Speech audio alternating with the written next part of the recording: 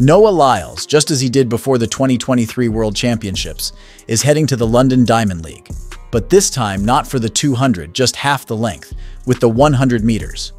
Noah Lyles, Letsile Tebogo, and Zharnel Hughes will headline the men's 100 meters at the London Diamond League meet.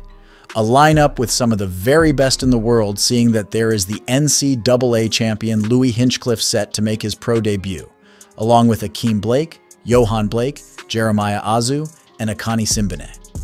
But in the midst of an epic clash, there lies another battle. So where should we begin? Well, this is a good place to start. Noah Lyles needs to break the meeting record. The meeting record held by Tyson Gay since 2010 stands at 9.78 seconds and was set in a year Tyson Gay was an absolute beast.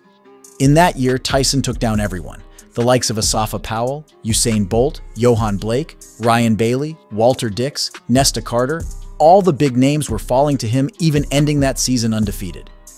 That said, Noah, as the reigning 100-meter champion, will already have a tough field to contend with, but he is the only man in this field who has gone 9.8 so far this season. But unfortunately, he now faces a situation where that is not good enough to achieve the goals he set out at the start of the season.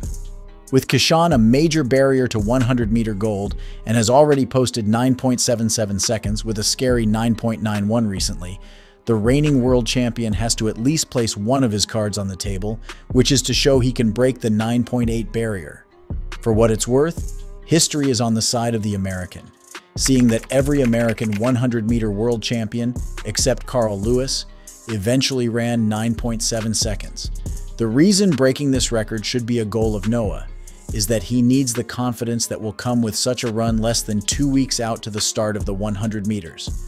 When facing Thompson, who clearly has top-end speed, but even more dangerously, having a combination of a top end with a quick start, he will need the confidence of having run under 9.8 before they meet, so that once that gun goes, he can relax and execute properly to chase the Jamaican.